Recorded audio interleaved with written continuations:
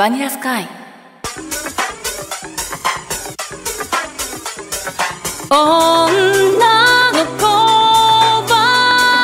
いつでもヒロインになれるハッピーです。FM ギノワンをお聞きの皆さん。こんばんは。鹿児島県より世界中に音時間発信しています。シンガーソングライターのようこです。今夜のバニラスカイもですね一人寂しくお届けしますが最後までイチャイチャねお付き合いくださいませ。よろしくお願いいたします。今月はいよいよカバーアルバム「スターズがリリースとなります。収録楽曲もですねもう間もなく、えー、公開になるんじゃないかなと思っているんですけれども私が青春を共にしたそして結構80年代の楽曲が多いんですね。やっぱり私の両親からの影響だったりとかあとね今は TikTok で昔の歌が流行ってるとかねそう再注目されていますけれどもまあそういう TikTok ではなく何ていうのかなこう私の時代には名曲はやっぱりずっと生き残っていたっていう感じなんでしょうね。なのできっと皆さんにも幅広い年齢の方にね楽しんでいただける今回ナンバーになってるんじゃないかなと。スターズ。ぜひぜひお楽しみにお待ちいただければと思います。そしてね11月後半の方ではスターズより何曲もお届けできることがね始まるなと思ってますので陽子の新曲たちもお楽しみにお待ちください。では今夜の1曲目え皆さんに感謝をいたしまして1曲をお届けしたいと思います。ファーストシングルより Unfinished Story。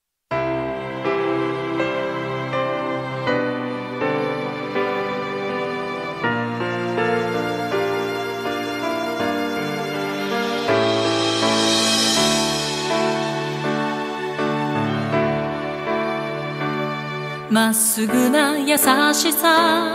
その笑顔の中に秘めた強さ惹かれていた。あなたを思えば思うほど優しくなれる。心満たされてく。やっと気づいたの。所。探し求める私の前に。差し伸べられる。その手を守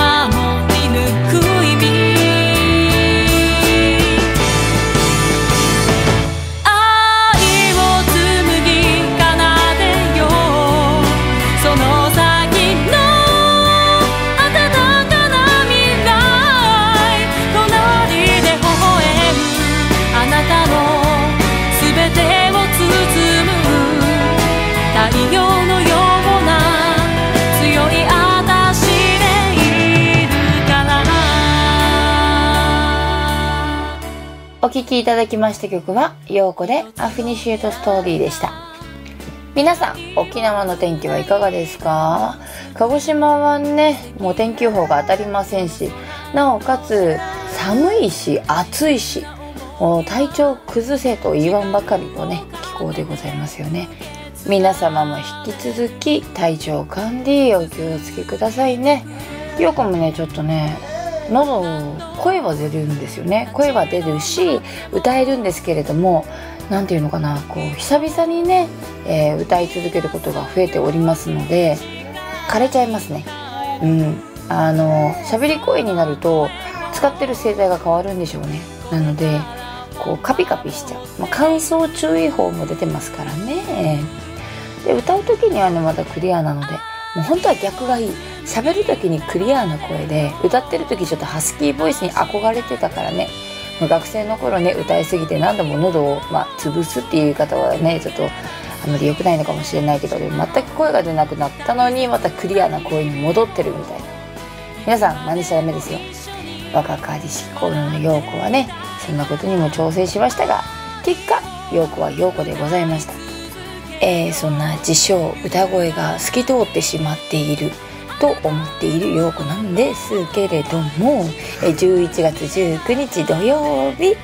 ビューティーフェスというね、タイトルのイベントを行います。場所は、鹿児島市にあります、センテラス天文館のスクエア広場でございます。時間は午前中の10時から夜8時30分まで。でね、今回は、えー、陽子トークショーとミニライブでなんと東郷さくらさんというねシンガーソングライターさんの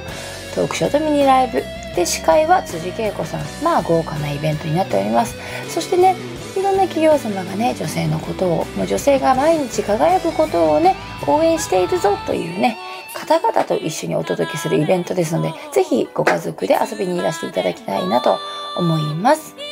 えー、陽子はですね今回はねえー、シンガーソングライターママという肩書きを手に入れましたのでもうね作詞家になりました。って調子に乗ってからいろいろと調子に乗ってます。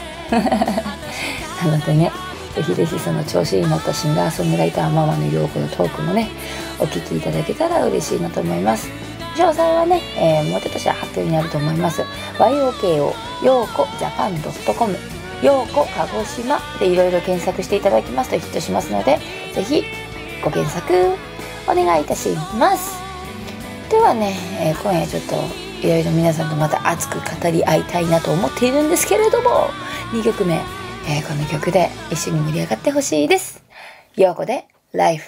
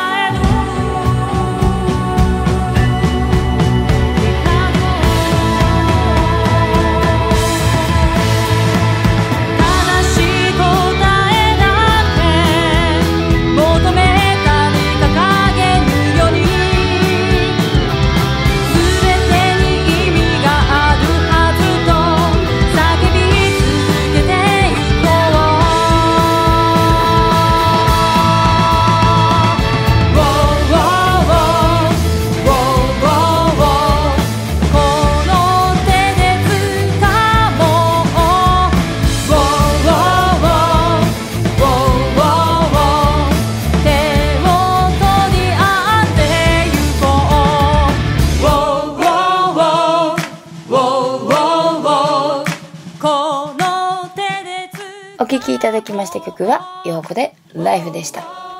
えー、声をね、一緒に出して歌うっていうことはね、間もなく堂々とできるのかなで私は意外と思ってなかったんですけれどもやっぱり第8波ね。うん。どうなんでしょうね。プロフェッショナルにはもう分かっているけれども混乱をね、うん、避けるためにね、うん、省いていることがあるのかな？伝わってきてないことがあるのかなって思うのがちょっとコロナ禍でね思うことでございます。まあプロフェッショナルにはね凡人は叶いませんからどの分野もね。私はね、えー、音楽の方でも凡人ではございますが、えー、凡人だからこそちょっと天才になりたいなと思うことがあります。えー、ちょっとねあのあるアーティストさんの歌詞を書かせていただいている時に「天才」という言葉をググりました。そうするとね、えー、天才って皆さんググってください。もうびっくり、えー、よく天才とは1%の才能で99%の努力からなるみたいな名言がございますが、えー、その通りでございました。もう天才って言葉自体が、えー、努力を続けられる人のことを言います。でね、えー、天才私の周りって見渡した時にうちの娘をね思い出しましたね、えー、15歳のシノンはですね努力の才能ありますねえー、陽子努力の才能ないのでマジで努力しようと思いますなのでね、えー、来年毎年あもうごめんなさい毎年じゃねえよ もうちょっと興奮しすぎ、えー、来年は毎月最低1曲はね、えー、新曲をね、YouTube 越しに発信したいなと思っております。それが溜まってね、CD になるのか、どうなるのかはもうわかりません。わかりませんが、えー、フォロワー数は絶対伸ばしたい。めちゃくちゃ SNS のフォロワーを獲得したい。ちゃんと言ってください。みたいな。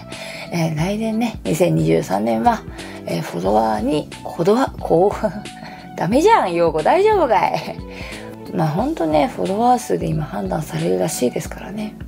私はねその数っていうのは苦手ですけれども、まあ、先週もねお話ししましたがとにかく誰かの役に立っているっていうことをねうん生きがいにね生きていきたい。それが2023年かなと思っております。まあ営業成績大事ですもんね。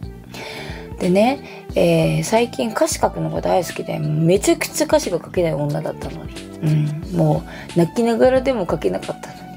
最近妄想何かこう言葉を使って表現するっていうのがね、えー、シチュエーションであったり自分の人生観であったりそういうのがすごくね楽しくて仕方がありません。でチーム横でね残していける作品っていうのがねすごくね嬉しくて。でこの間は世界をね、えー、もう救っている生身のゆるキャラといいますかヒーローえ鹿児島を拠点に活動されていますじゃんけんマンさんのミュージックビデオの制作にも携わることができました。まあ、監督さんみたいな感じでね当日現場仕切らせていただいてるんですけれどもその際にねいろんな子供たちの笑顔を見てこれなんだよね陽子が求めていることは音時間でこの子供たちの笑顔を見るために陽子は活動しているんだよねと思ってなのでね、えー、シノンと一緒にいろいろ子供イベントもねそう関われるようなねプロジェクトも来年に向けて進めていきたいと思いますので、ぜひぜひあのチェックしてください。YOKO ようこジャパン .com ぜひチェックお願いいたします。いや、それにしてもですね、熱い思いっていうのはね、なかなか冷めないなと。日常にね、確かにね、こう、そう、今もね、可愛いね、声が聞こえてるでしょ？もう最近ね、収録現場だけでなくて、えー、この間のミュージックビデオの撮影の時もお膝に抱っこしたりね、家族にね、助けてもらいながら、えー、子育てできているんですけれども、やっぱりね、こう泣いてママママって言ってくれる時期なのでね、えー、私が抱っこしていると泣かないので、それを逆手にとって仕事には連れて行けるところには打ち合わせ含めね、え連れて行っております。でね最近は本当にお母さんが働きやすい環境になっているんだなと本当ねあの周りの方々のねご理解ご協力にね感謝しながらね働けている自分がいるのでねうんよかったなって思いますでもその反面ねなんかさ私利私欲でさ好き勝手言う人もいるじゃない。ダメだよそれって本当に思う。うん悲しくなりますよね。陽子は本当ねチーム陽子にね救われていますので。まあ、職業的なものもあるのかもしれないけど、とにかくとにかく赤ちゃんがね、泣いててもいいじゃない。そんなね、声をね聞、きながら仕事ができてもいいじゃない。とまさしく今の陽子でございます、えーそういうね世界がもっともっと広まって、えー子孫繁栄に多くの方がね力を添えてくださり平和にみんなが気づいてくださり明るい世界がね来ることを横幅にスカイを通してどんどん伝えていきたいなと思います、まあ、それがね曲を作ることであったりするんでしょうね。今夜の最後の一曲陽子でキスハグ。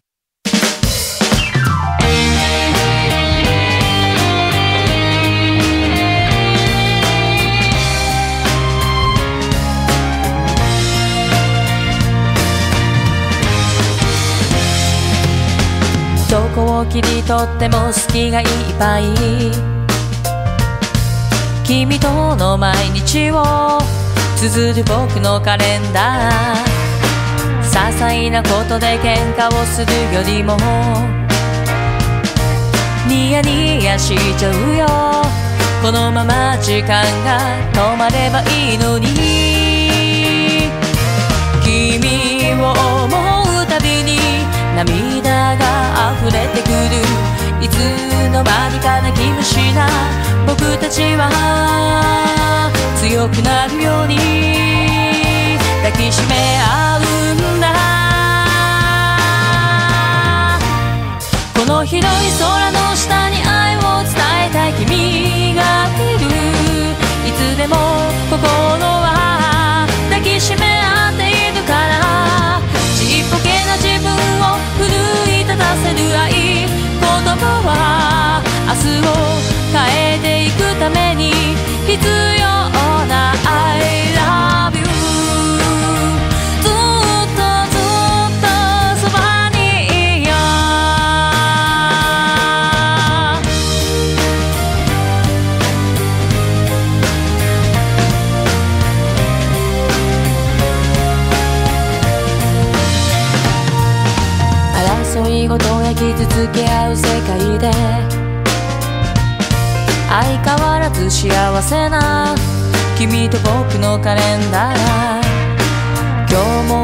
罪のキスをするときに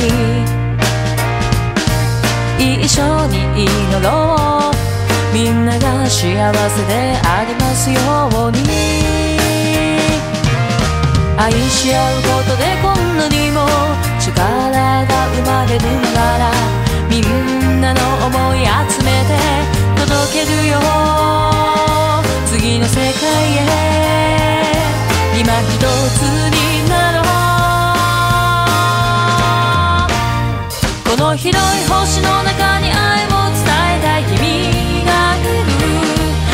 があって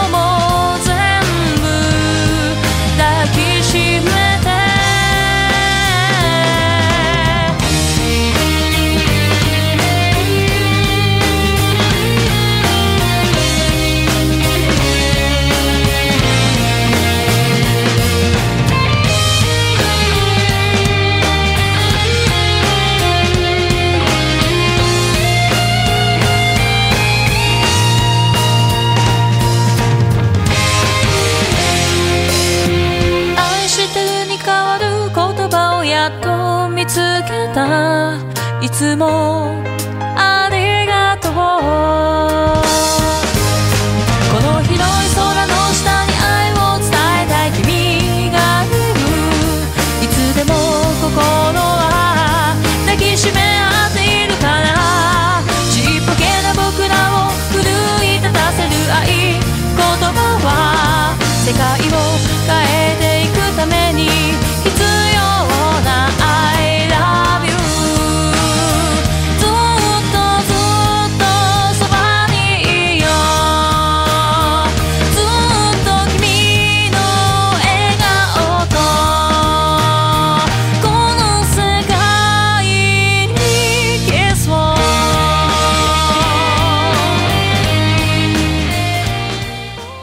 スカイは皆さんのメッセージやリクエスト大募集しています。宛先は797アットマーク FM ギノワンドットコム。797アットマーク FM ギノワンドットコム。バニラスカイ宛てにお願いいたします。え皆さんはえ何かこうハピモノございますか、えー久々に？ハピモノのコーナーでございます。えよくはですね気分転換ができる人が羨ましいととても最近思います。え気分転換ってそもそも何なんですの？みたいな。よくねあのやっぱりお仕事男性とすることが多いのでちょっと休憩時間って言ってねあ今はアイコスを吸いに行ったりタバコを吸いに行ったりされる方がいますがよくタバコ吸えないのでね。いいなあその休憩時間で1本吸っただけで気分が変わってまた威力がねこう意欲撮影意欲だったり制作意欲がね湧くってすんげえ単純でいいなって。ね 最近羨ましい。でもそんなね私にとってはタバコなんて吸ったらねもう歌えなくなっちゃうのでね。そうそう。お酒もね今飲まないですしね。うん、なんかねこうそういうやる気スイッチが私は今欲しい。サンタさんにお願いしようかしら。っていうくらいね。で気分転換をね探すためにねちょっと私旅に出ました、えー赤ちゃんののんちゃんと一緒にね夜の公園をお散歩してみたんです。そしたらねうわー何も考えなくていい時間ってなんて幸せなんだと思いました。なので、えー今私のハッピーものは、えー何も考えなくていい時間を作るというね、えー訓練 修行 もうそう言っている時点でダメでしょみたいなね。いやほんと。だからね頭の中がねなんかねずっと考えてるの。クリエイティブ脳のスイッチが入ったまんまらしくてね。困ってます。なので、えー私は極力アホな子でいようと思ってよこさん何考えてるんですか？いや何も考えてません。みたいなのが私の最近の理想形。なのでハッピーモノのコーナーは、えー気分転換な用語を作るという、えー修行。でございました、え皆さんもね、えーぜひぜひあこれをしたら私ちょっとね楽なんですとかねうんなんか教えてほしいですねメッセージでねでね最近ねあのちょっとメッセージのやり取りをしていた中でね「もうよこ大丈夫ね」っていうメッセージをいただいたのがやっぱりちょっと私の中ではね嬉しかったんですよね。もうこれで私たちが心配しなくても陽子というアーティストで羽ばたいて多くの人の役に立てるわねっていうメッセージをいただきました。でねライブもいろんな方に聞いてほしいっていう気持ちと一緒にこうどうやったら広まるかなって考えてくださる人が毎回ライブを終えるためにね出会えるんですよね。それってめちゃくちゃ嬉しいことですよね。11月は陽子、えーもう活動8周年目を迎える大事な月間になっております。なので私11月は毎年初心を忘れないように初心に帰っております。なのでね、えー皆さんへの感謝の気持ちどうやったら返せるかな？まあ大きく言えばもうすぐ目に見えて売れることなんですけれども、まあ、今の時代だったら LINE ニュースに陽子がこういうインスタ上げたよとか言って上がってくることだったりするんでしょうね。まあだからねもう冒頭でも言いましたけれどもフォロワー数増やしましょう陽子さんって 皆さんお力添えお願いいたします。でねよくご飯作るの好きなんですけれども食べるのも大好きででね白ご飯がね、まあ、めちゃくちゃ好きなんですよ。だから、まあ、今ね出産する前よりも痩せていますけれども多分ね慌ただしい毎日のおかげでね健康的にね体重が落ちていっただけでめちゃくちゃご飯は食べてるんです。なのでなんか YouTube とかでねもうこの寒い時期になったらこうお料理動画とかもね上げていきたいなと、うん、どうでしょう皆さん。興味あります？ない？ね。まあとにかく皆さんにとってねえハッピーな毎日がもっともっと続きますようにっていうことをねいろんな形で発信していきたいってそれを模索しておりますがシンガーソングライターなので曲を作るっていうことはとにかくもう忘れないそういうね来年はスタートを切りたいので今から準備に励みたいと思います。えチーム陽子で動く時間ってすごく尊くてですねいつまでもこの時間は続かないのは分かっていますけれどもとにかく自分が健康でえ皆さんの笑顔をねちゃんと抱きしめながら歌い続けられるようにと思っていますのでねとにかくとにかくほんと11月始まっちゃいました、えーこの7年間もとてもとてもお世話になりました。皆さん引き続き応援サポートよろしくお願いいたします。なんちゃんも今日も付き合ってくれてありがとうね。ではでは皆さんこれからの、えー毎日も皆さんらしくハッピーでありますように陽子は祈っています。ではでは皆さん来週までせーのバイバイハッピー。